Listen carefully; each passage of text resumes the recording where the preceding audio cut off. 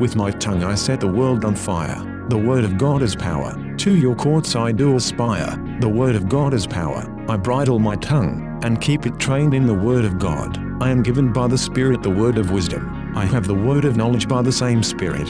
I follow after charity, and desire spiritual gifts, so that I may prophesy. With my tongue I set the world on fire. The word of God is power. To your courts I do aspire. The word of God is power. Show thy marvelous loving kindness, O thou that savest by thy right hand them which put their trust in thee from those that rise up against them.